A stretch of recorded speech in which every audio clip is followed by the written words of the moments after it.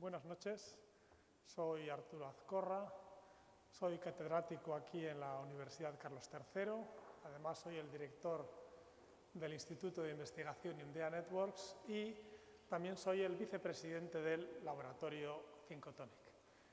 Y esta noche voy a intentar explicarles en qué consiste la tecnología 5G. Para introducir un poco el tema, me gustaría exponer que solo en Europa la inversión en investigación y desarrollo en tecnologías 5G supone 7.000 millones de euros de inversión a lo largo de los próximos eh, dos, tres años y esto se va a realizar a través de cientos de empresas y cientos de investigación.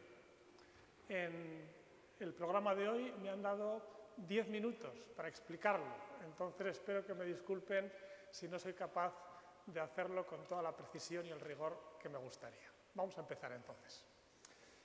Me gustaría empezar con algunas cifras de lo que suponen la capacidad y el volumen de información que cursan las redes de telecomunicación hoy en día. Tienen aquí algunas eh, cifras, mil millones de perfiles en redes sociales, mil millones de, de usuarios activos en Facebook, 200.000 millones de fotos de Facebook, 200.000 tweets cada minuto, pero lo más importante de todo esto no son las cifras en sí mismas, sino que es la tendencia. Estamos experimentando un crecimiento continuo de demanda de servicios de telecomunicaciones, no solo por los usuarios particulares, sino por las empresas, por las administraciones públicas, por todo tipo de entidades. Y el tráfico y el volumen de necesidad de la red se viene a duplicar cada pocos meses, se demanda cada vez tiempos más cortos de respuesta, se demanda mayor cobertura. Por tanto, las tecnologías actuales están sujetas a una enorme presión. Para empezar ya a explicar lo que son las redes 5G, lo que me gustaría es empezar explicando qué no son las redes 5G. En palabras de Mario Campolargo, que es uno de los Deputy Director General de la Comisión Europea, 5G no es 4G más 1. ¿Qué quiere decir con esto Mario Campolargo? Lo que quiere decir es que la diferencia entre la tecnología 4G que tenemos ya hoy disponible y la tecnología 5G que estará disponible eh, a corto plazo es mucho mayor que las diferencias entre las generaciones de telefonía que hemos tenido hasta ahora.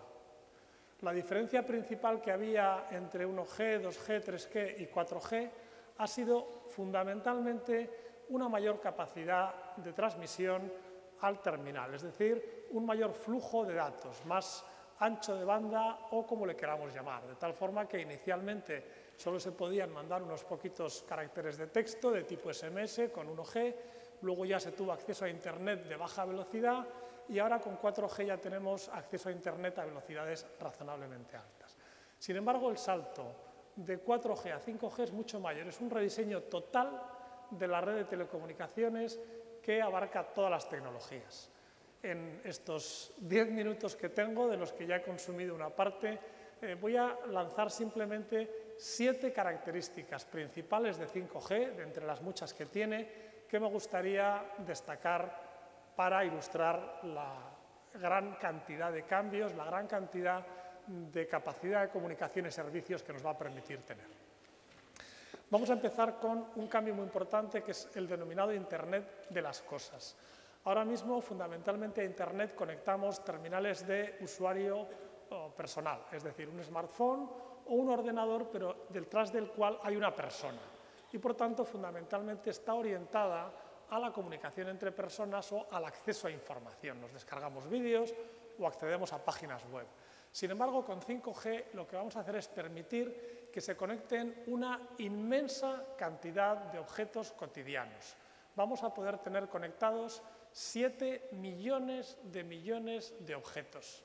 Objetos de todo tipo. Las bicicletas podrán estar conectadas, podrán estar conectadas las maletas, los interruptores de la luz, la nevera, en los coches, por supuesto, estarán conectados. Y todos estos dispositivos intercambiarán información entre ellos y también podremos nosotros acceder a los mismos para manipularlos como si estuviéramos cerca de ellos. Podríamos controlar casi todos estos dispositivos que estoy comentando a distancia con aplicaciones que nos lo harán muy sencillo y muy útil para poder hacer, como digo, eh, un uso a distancia de todos estos objetos.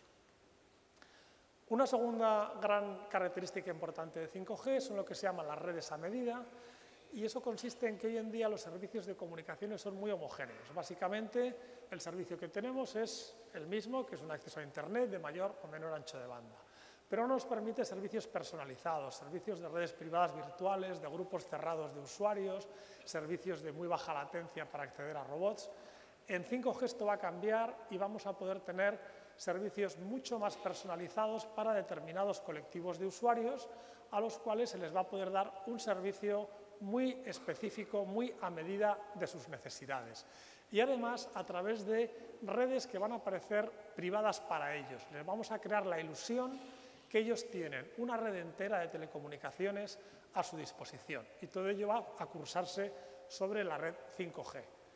Estas redes a medida que se les crean a los usuarios para que atiendan a sus necesidades, lo que se llaman las rodajas o las slices de red y eso es lo que dispondremos también en 5G. Muy importante también la instantaneidad. Los tiempos de servicio van a ser mucho más bajos. Por un lado, porque vamos a tener una latencia más baja en el acceso a la red, un retardo de propagación y transmisión, pero sobre todo porque vamos a tener servicios de computación integrados en la red. Hoy en día, cuando accedemos a un servicio a distancia, un servidor web o a una reserva de entradas o a cualquier servicio que utilizamos a través de la red, se hace lo que se denomina extremo a extremo. Desde el terminal del usuario que se conecta hasta el gran centro de datos donde están los ordenadores que dan ese servicio, se atraviesa toda la red y se vuelve con las peticiones del usuario. Sin embargo, en 5G vamos a desplegar servicios informáticos, ordenadores, servidores, por toda la red y por tanto van a estar mucho más cerca de los usuarios y los servicios que les atienden van a estar mucho más cerca dando unos tiempos de servicio, de servicio mucho mejores. Es lo que se denomina el concepto de Mobile Edge Computing o, como digo, la computación de proximidad. Y esto, como digo, también va a permitir unos servicios más sofisticados que los que tenemos ahora. Otra característica importante que también me gustaría destacar es la facilidad para el despliegue de nuevos servicios. Hoy en día, desde que se desarrolla un servicio, que se programa y se prueba y se quiere implantar en la red, se tardan 90 días. Es un proceso laborioso que tiene muchos checks, muchos controles para que todo funcione correctamente y que no haya ningún problema. Sin embargo, con la tecnología 5G vamos a automatizar por completo este despliegue de servicios y vamos a reducir ese tiempo de 90 días a 90 minutos, con lo cual en hora y media podremos tener un servicio instalado. Esto no solo es una ventaja para la empresa operadora, sino que es una gran ventaja para el usuario, que va a poder disfrutar de una red mucho más dinámica en la que vamos a poder ver nuevos servicios apareciendo con mayor rapidez y podremos tener servicios nuevos cada semana. Quizá no todos sean de nuestro interés, pero está claro que sí que muchos de ellos serán de interés para cada colectivo de usuarios. Una característica que ha salido mencionada ya en el vídeo de introducción, muy importante también, es la reducción del consumo. Con este volumen de tráfico que vamos a experimentar y con esta gran cantidad de terminales conectados, si tuviéramos un consumo similar al de hoy, no sería posible atender una demanda de consumo tan elevada, porque estaríamos multiplicando el consumo actual por un, por un orden de magnitud o más, y eso sería, como digo, un problema muy importante. Y por otro lado, para los dispositivos en concreto de Internet de las cosas que he comentado, esas bicicletas, esas maletas, esos sensores que van a estar por todas partes, es muy importante que tengan una vida de batería muy larga, porque de lo contrario resultaría muy incómodo y muy poco adecuado para el servicio el tener que estar reemplazando las baterías cada poco tiempo. Estamos previendo tiempos de duración de batería para este tipo de dispositivos de muy bajo consumo del orden de meses o incluso de años y para eso es necesario reducir enormemente el consumo energético para ese tipo de servicios. Por tanto, una característica, como digo, muy importante, un consumo mucho más bajo que los sistemas actuales. Termino ya con las dos últimas características que quería presentar. Una de ellas, el mayor caudal. Ya lo he dicho en la introducción. Por supuesto, 5G nos dará sobre 4G un mayor caudal. Esta no es la característica principal, pero también es relevante. Ese mayor caudal nos permitirá acceder en tiempo real a vídeos de ultra alta definición, lo que se llaman vídeos 4K, vídeos que tienen una resolución mucho mayor que la que tenemos ahora. También podremos acceder a vídeos en tres dimensiones, en lo que es 3D, o vídeos de 360 grados. Y eso lo podremos hacer gracias a esta nueva capacidad más elevada de cada uno de los terminales de comunicaciones. También los tiempos de descarga de cualquier fichero o cosa que nos queramos descargar serán mucho más rápidos gracias a este mayor caudal que tendremos en cada uno de los terminales de los usuarios. Pero más importante que aumentar el caudal de cada terminal individualmente es el poder atender a muchos más terminales simultáneamente, lo que se denominan las comunicaciones o los servicios ultradensos. En la actualidad, cuando estamos en una aglomeración de mucha gente, el servicio se resiente porque la red es compartida entre los distintos terminales. Entonces, si solo hay un vídeo 4K descargándose a la vez, no hay ningún problema. Pero si mil personas o 10.000 o 100.000 personas a la vez quieren acceder a la red con alta capacidad, hoy en día esto no es posible. Muchos lo habremos experimentado. Sin embargo, con las tecnologías 5G va a ser posible atender lo que se denominan estas comunicaciones ultradensas y será posible una mayor capacidad de comunicación, no para cada terminal individual, sino por unidad de superficie. Por citar un ejemplo, si estuviéramos en un estadio abarrotado de gente, con 100.000 espectadores, los 100.000 espectadores a la vez podrían estar simultáneamente enviando un vídeo, no de ultra alta definición, que sería ya una capacidad excesiva, pero sí un vídeo en alta definición, con lo cual cada uno de nosotros podemos ser un corresponsal de vídeo y de televisión allí donde estemos. Podremos en tiempo real enviar lo que estemos viendo y el sonido, como digo, con la calidad que vemos hoy en día en la televisión comercial. Esta es la última característica que quería citar y en resumen lo que tenemos que hacer es usar todas estas enormes capacidades para reinventar cómo hacemos prácticamente todo, reinventar cómo hacemos la compra, cómo nos eh, relacionamos con la administración, cómo estudiamos, cómo nos divertimos, cómo recibimos tratamiento sanitario, cómo trabajamos, cómo nos relacionamos con otras personas.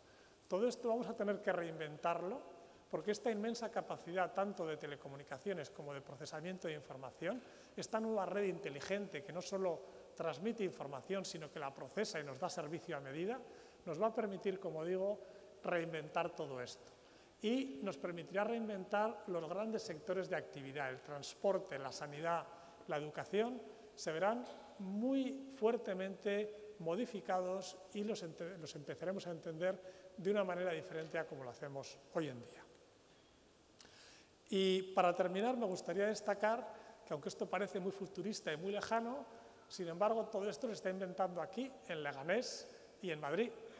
Y estamos inventándolo aquí a través de distintas entidades de investigación que estamos colaborando en ser una de las entidades líderes a nivel europeo, a nivel mundial, en el desarrollo de tecnologías 5G. Se ha fundado aquí en Leganés, con su sede principal, el Laboratorio de Investigación 5Tonic, que es el principal laboratorio de Europa, uno de los cinco laboratorios de referencia de la GSMA y uno de los principales laboratorios de la 5G PPP de la Comisión Europea, y está formado principalmente por eh, el Instituto India Networks, por supuesto por la Universidad Carlos III, Telefónica, Intel, Ericsson, Comscope, Artesin y otras grandes empresas líderes a nivel mundial en el desarrollo y la investigación de este tipo de sistemas y tecnologías. Y con esto termino y les agradezco mucho la atención. Espero haber podido comunicar, aunque sea en este tiempo tan corto, un rápido flash de lo que son las tecnologías 5G. Muchas gracias.